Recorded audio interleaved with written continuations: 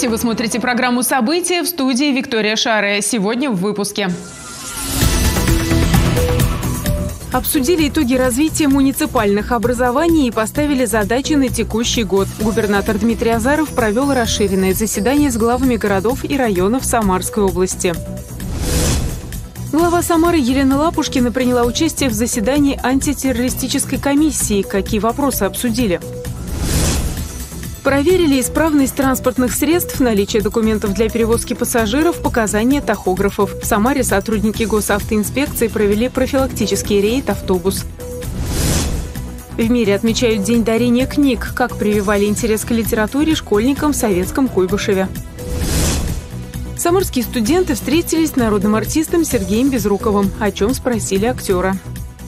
Губернатор Дмитрий Азаров провел первое в этом году расширенное заседание с главами городов и районов, членами правительства области. Обсудили итоги развития муниципальных образований и региона в целом, а также поставили задачи на текущий год. В первую очередь они касаются исполнения национальных проектов. Благодаря им в прошлом году в регионе ввели в эксплуатацию 86 объектов. Было завершено возведение трех общеобразовательных школ. Строительство еще шести продолжается. В сфере здравоохранения ввели в эксплуатацию 39 медицинских медицинских объектов, в том числе инфекционный корпус на 100 коек Самарской областной детской инфекционной больницы и новый корпус в Невсегорской районной больнице. Значимые результаты есть в развитии спорта и культуры. В прошлом году ввели в эксплуатацию ФОК в Ставропольском районе. Завершили строительство бассейна в Куйбышевском районе Самары. Обустроили 22 спортивные площадки. Провели капитальный ремонт 12 домов культуры, трех муниципальных музеев, двух детских школ искусств. Открыли 6 модельных библиотек. Серьезный объем работ запланирован планировали и на текущий год. Дмитрий Азаров акцентировал внимание глав городов и районов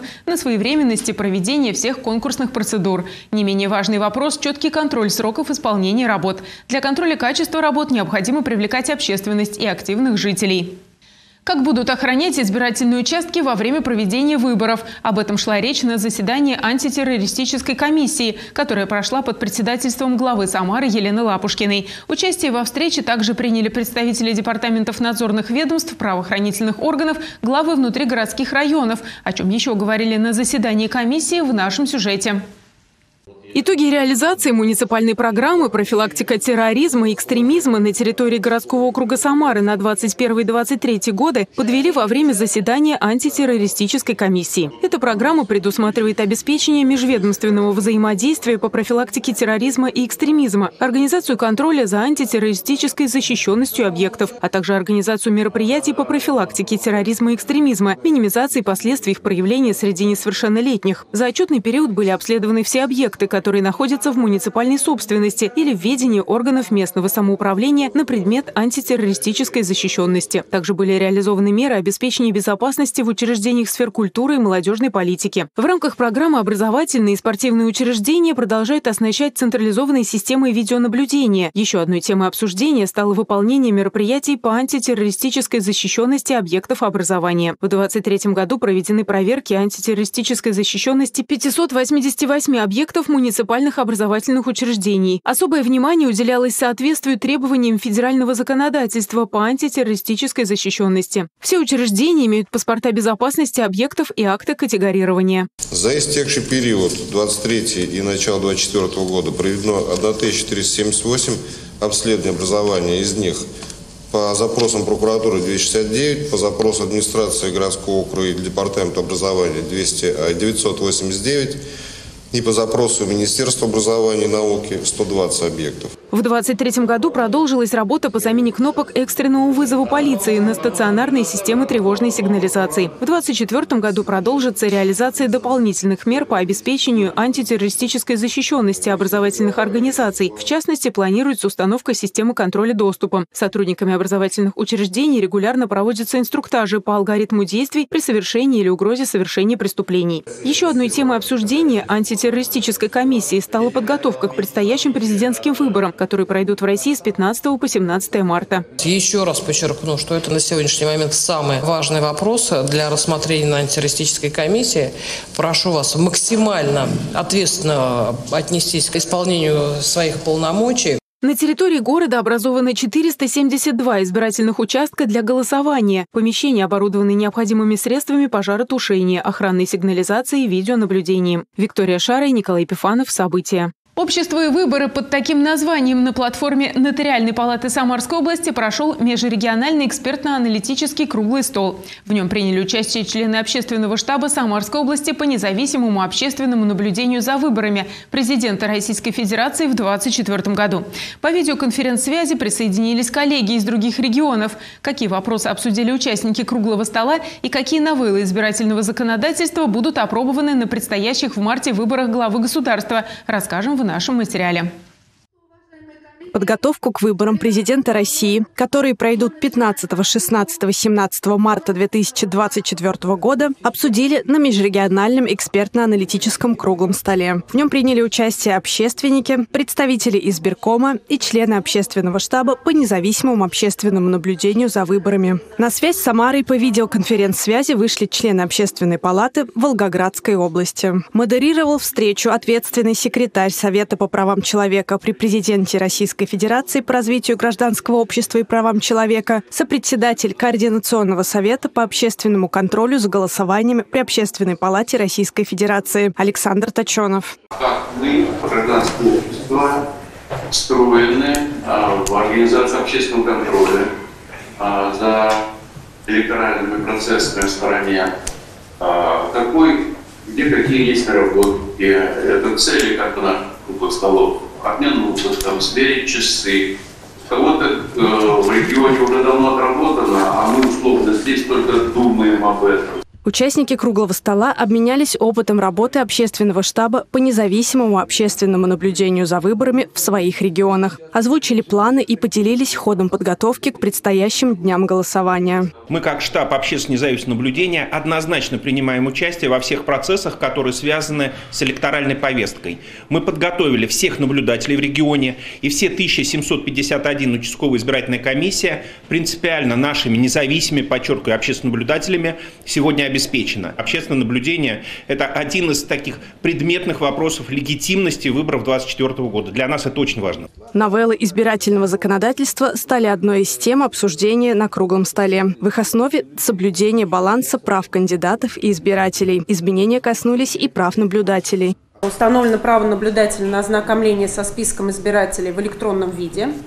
А, учитывая, что в избирательное законодательство внесено изменение, соответственно, федеральный закон о выборах президента Российской Федерации, а, внесено изменение в, частности, в части возможности ведения реестра заявления о голосовании вне помещения для голосования в электронном виде, соответственно, это право на ознакомление у наблюдателя также теперь есть и на ознакомление с данным реестром в электронном виде. В дни голосования все избирательные участки на территории Самарской области будут обеспечены средствами видеофиксации. На 954 участках будут установлены камеры видеонаблюдения. На остальных участках средства видеофиксации, видеорегистрации. В течение дня а, средства видеофиксации направлены на стационарные ящики, либо на КАИБы, где они будут использоваться. А, в течение а, ночного времени они, эта видеофиксация будет осуществляться с сейфов, которые хранят сейфы, сейф-пакеты с избирательными бюллетенями.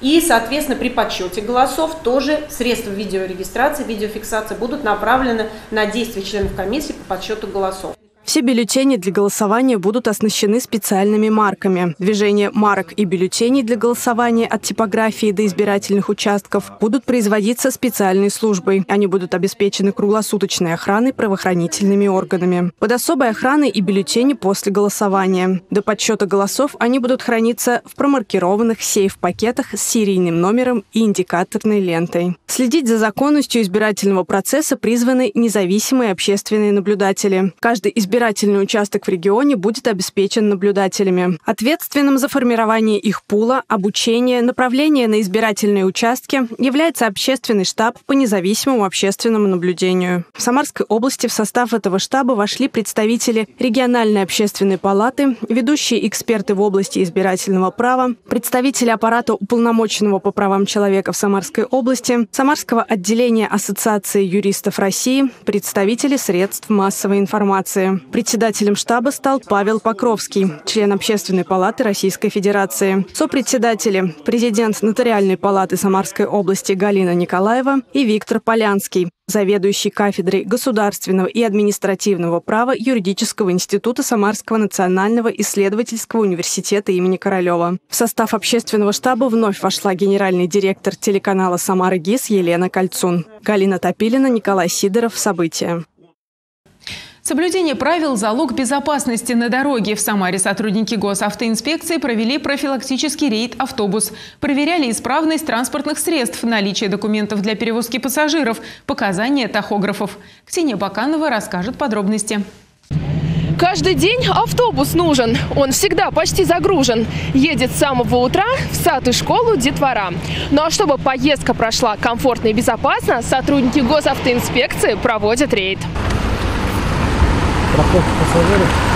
Андрей Шишкин за рулем уже больше 40 лет. Рассказывает, профессия обязывает не только хорошо знать город. Водителю важно прислушиваться к своему автомобилю. Любые посторонние шумы – это верный сигнал. Ласточка сломалась. Да и о своем здоровье тоже забывать не стоит, говорит Андрей. Ведь большинство страшных аварий случаются из-за банальной усталости. Внимательность, сосредоточенность.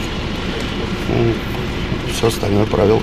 Ну, водитель должен отдыхать как-то высыпаться уже, ну, вовремя ложиться, просыпаться, и как бы это, ну, как бы несет ответственность пассажиров безопасности. Осуществлять контроль за временем вождения и отдыха помогает тахограф. Прибор показывает, сколько времени человек находится за рулем, измеряет километраж и контролирует скоростной режим. Водители автобусов маршрутных «Газелей» специалисты ведомства также проверили на наличие сопроводительных документов, путевого листа, страховки, свидетельства о регистрации транспортного средства. Все несоответствия сразу фиксируются. Оставляется либо протокол, либо постановление по делу об административном правонарушении, его объяснение, фотофиксация обязательно в этом случае. И соответственно, э, с последующим уже привлечением должностных юридических лиц, организаций, которые допустили выпуск этого автобуса на линии. Инспекторы призвали автолюбителей делать перерыв в пути. Отдых для водителя должен составлять примерно 2-4 часа. Сотрудники также рекомендовали избегать агрессивного стиля вождения, чтобы не подвергать опасности пассажиров. Ксения Баканова, Николай Сидоров. События. В России стартовал большой проект «Всей семьей». Он приурочен к объявленному президентом Году семьи и направлен на укрепление традиционных семейных ценностей. Семьи участницы должны раз в неделю выполнять несложные задания и выкладывать в соцсети фото с хэштегами «Всей семьей» и «Всей семьей 63». К проекту присоединились и самарские семьи. С одной из них познакомились наши корреспонденты. Как участники проводят время всей семьей, расскажем в сюжете.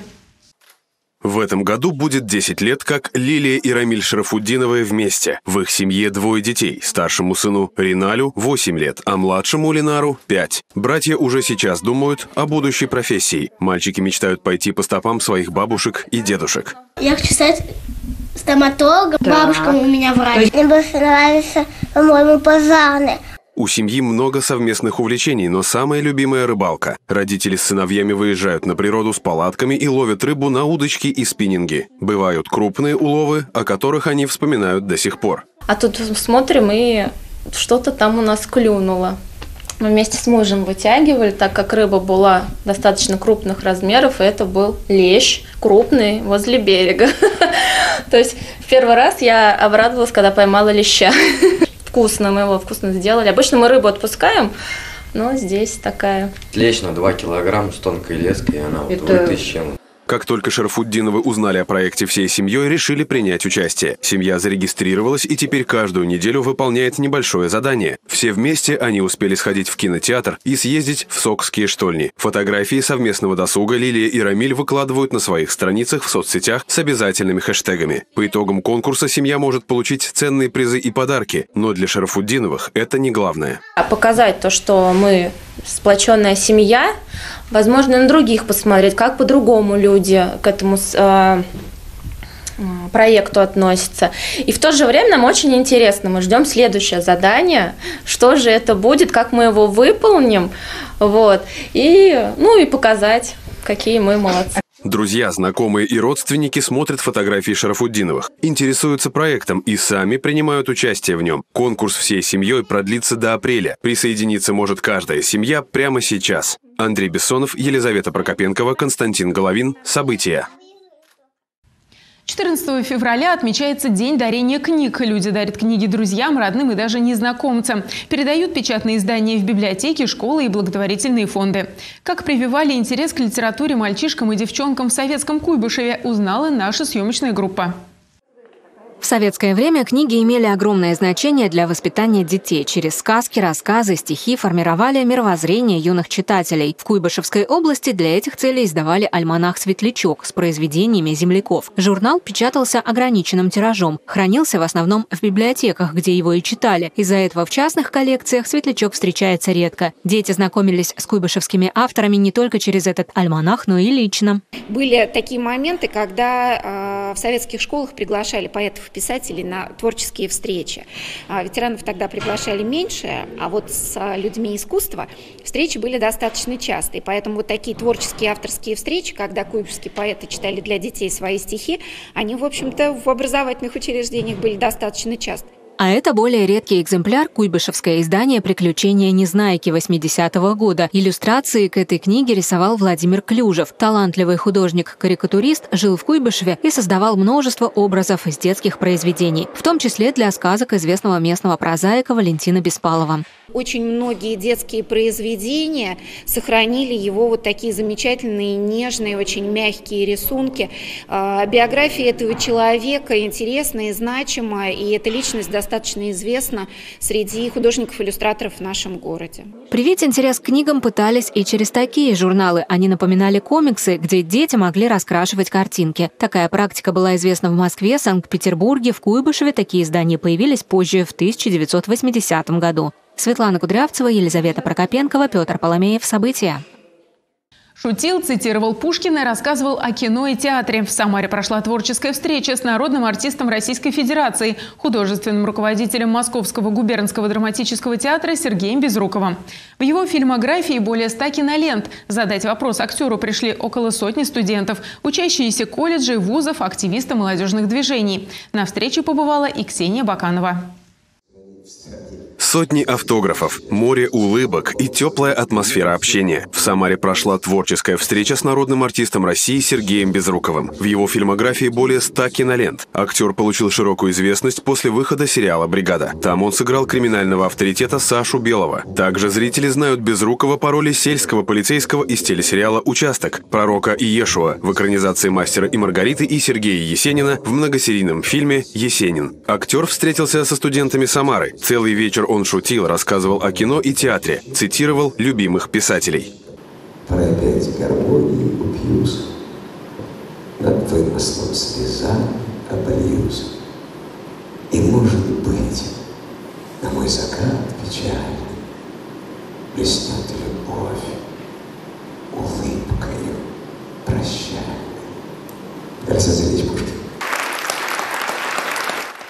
Пообщаться с актером пришли больше сотни человек. Это учащиеся колледжей, вузов, активисты молодежных движений. Одни уже готовы крепко связать свою жизнь с театром, другие только знакомятся с миром этого удивительного искусства. Самые смелые приготовили вопросы. Сергей Безруков не только ответил на них, но и преподал парочку жизненных уроков.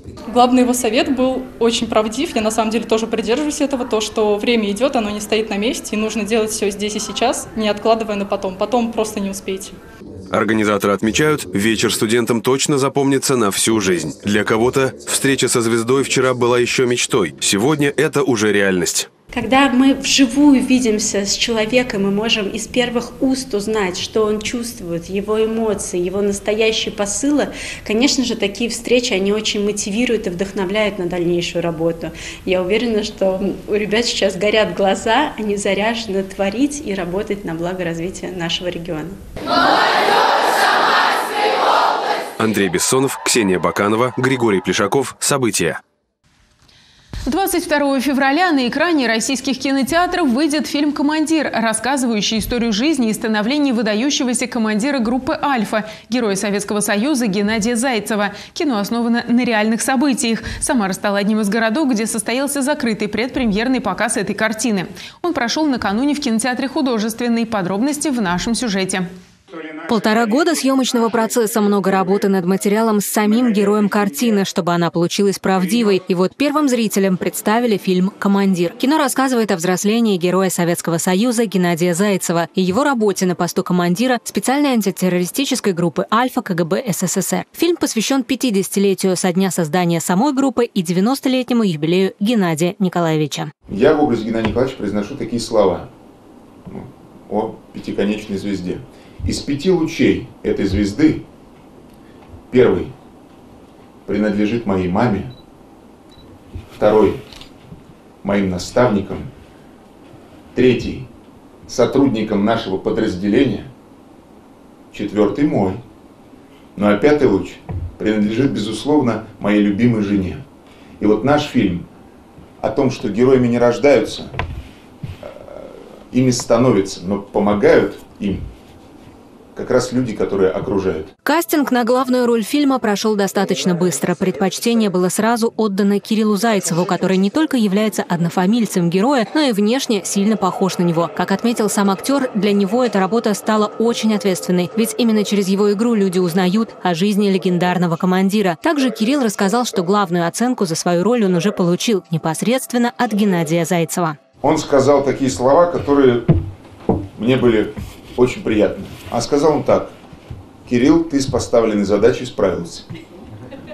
Из его уст это очень высокая похвала. Центральным эпизодом фильма стала операция по освобождению заложников в городе Орджоникидзе в декабре 1988 года, которая долгое время была засекречена. Больше 30 детей и учительница оказались захвачены в школьном автобусе террористами, которые требовали от властей заплатить выкуп, предоставить самолет и дать возможность вылета за границу. За подлинность всех показанных событий отвечали непосредственные участники операции спасения. Да, я смотрел его, но я сравнивал с теми моментами жизненными, которые были у меня. Потому что я реально эту операцию знаю, я при, принимал активное участие в этой операции. Естественно, я смотрел в первую очередь, как играют актеры, правильно ли они э, вот там, допустим, носят мешки с деньгами, там, э, пищу приносят. Я знаю, кто ходил. Я знаю по фамилии, это мои друзья. Самара стала одним из немногих городов, где прошел специальный предпоказ фильма. Прошли предпоказы лишь в тех местах, которые наиболее дороги герою Советского Союза. Обычно Геннадий Николаевич везде присутствует сам, но встречу в Самаре ему пришлось пропустить из-за болезни.